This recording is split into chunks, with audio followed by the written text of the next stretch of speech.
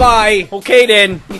Hey, Miss Pauling, before you go, uh, Uh-huh. uh, uh, Scout, what? Say something. Uh, you're probably real busy this weekend, right? Funny you should mention that. Mm, looks like I'll be burying bodies all weekend, so that you don't go to jail. Oh, good. So, so we're both busy. Oh, gotta go.